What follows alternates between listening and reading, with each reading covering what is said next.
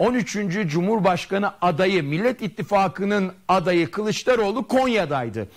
Ee, şöyle bir paylaşmıştık zaten izdiham oldu Konya'da esnaf ziyaretini adeta e, yapamadı Kılıçdaroğlu. Öyle yoğun ilgi vardı ki yürüyemedi esnaf ziyaretini iptal etti. Sonra millet sofrası, Millet İttifakı'nın iftar sofrası kuruldu ve oradan mesajlar paylaşıldı. Millet sofrasının o programın ardından da Kılıçdaroğlu gençlerle bir araya geldi.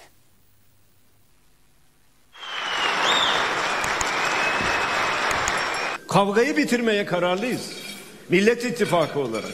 Yeter artık yani. Bu kadar kavga bizi nereye götürüyor? Buradan Konya'dan Hazreti Mevlana'nın diyardan çağrıda bulunuyoruz. Gelin barışalım. Kimse Konyalılara ve milletimizin yüreğine korku salmaya kalkmasın. Kimse bir daha bu topraklarda din ve vicdan özgürlüğünü asla kısıtlayamayacak. Konya'da yoğun ilgiyle karşılaşan 13. Cumhurbaşkanı adayı Kılıçdaroğlu akşamda iftar programındaydı. Memleketi Konya olan Gelecek Partisi lideri Ahmet Davutoğlu da katıldı iftara. Cumhurbaşkanı Erdoğan deprem bölgesinde CHP'li belediye başkanlarının olmadığını iddia etmişti. Tepki geldi Erdoğan'a. 11 tane büyükşehir belediyen var. Senin bu büyükşehir belediyelerin acaba Adıyaman'a ulaştılar mı? Mübarek gün Sayın Cumhurbaşkanımız 11 belediye başkanınız nerede hiçbir yerde görmedik diyor. Artık gözler kör olmuş diyecek bir şey yok. AK Parti'nin belediyeleri ilk günden itibaren başkanlarıyla beraber buradalar.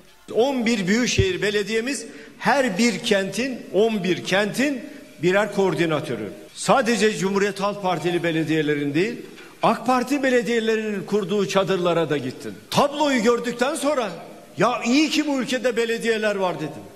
Belediyeler olmasa hiçbir şey olmayacak. İnsanlar enkaz altındayken ayrımcılık olur mu arkadaşlar? Deva Partisi lideri Ali Babacan da Ankara'da Antakya'dan gelen depremzede aileyle iftarını açtı. Gayet iyi. Hoş geldiniz. Hoş bulduk, hoş bulduk. Boş duruyorum yani. İşim boş durmak. Okuyor musunuz? Ee, yok başkanım ben mezun oldum. Mezun. Bir sürü e, üniversite açıldı, bir sürü mezun veriyor. Öyle. Ama alım yapılmıyor. Hiçbir şekilde bakanlıklar Öyle. alım yapmıyorlar. Sizler e, geleceği burada değil biraz dışarıda aramaya başladınız. Bunu değiştireceğiz. Kılıçdaroğlu Konya'da Mansur Yavaş ve Ekrem İmamoğlu ile birlikte gençlerle bir kafede kahve içerek sohbet etti. Şimdi biz kadınlar olarak, e, öğrenciler olarak biz size güveniyoruz. Umarım Güzel. her şey çok güzel olur. Güveninizi boşa çıkarmayacağız. İnşallah. E, şöyle Kahve ısmarlayalım mı başkanım size? Efendim? Kahve ısmarlayalım ne içersiniz? e, ağanın eli tutulmaz ne ısmarlarsınız. değil mi başkan? Dedim ki ne içersin dedim ağanın eli tutulmaz ne ısmarlarsanız içelim. İsterseniz latte ısmarlayalım size.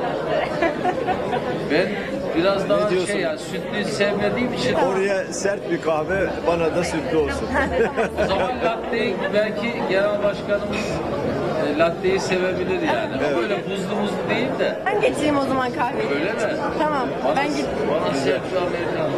Kılıçdaroğlu 6284 sayılı kadına yönelik şiddeti önleyen kanun değişmesini isteyen Yeniden Refah Partisi'ne tepki gösterdi. Kadın erkek eşitliğini sağlamak için öğrencilere söz verdi. Şimdi daha ciddi bir tehlike e, hani kadına yönelik şiddeti yasaklayan bir yasa var.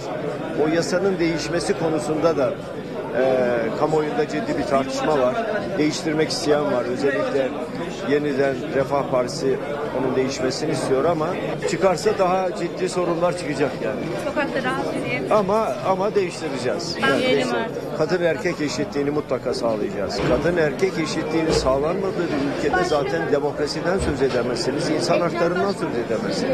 Yani. İnsanlar arasında ayrımcılık olamaz ki. Bunu sağlayacağız.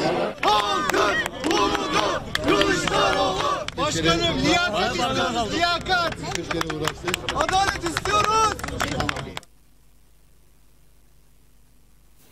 Hani bir kahvenin 40 yıl hatırı vardır ama bu kahve sohbeti biraz daha böyle farklı bir e, kahve. Hani nasıl diyeyim size e, daha çok böyle yurt dışı orijinli e, kahve adresleri var. Oralarda acayip acayip kahve isimleri vardır. Yani işte half milk bilmem şu bu falan diye devam eder. Üstüne ismi yazılır e, o kahve kartonunun bardağın üzerine. O adreslerdeki bir sohbet oysa acı bir kahvede pek çok şeyi e, halledebilir. Ne de olsa biz diyoruz ya bir acı kahvenin 40 yıl hatırı vardır diye ama tabii ki Z kuşağı Z kuşağı genelde şöyle kahveyi ya soğuk ice kafe olarak alıyor ya işte buzlu farklı bir şey alıyor latte alıyor o alıyor bu alıyor orada öyle bir sohbet var ama işte A'nın eli de tutulmuyor ve bu da ifade edilmiş.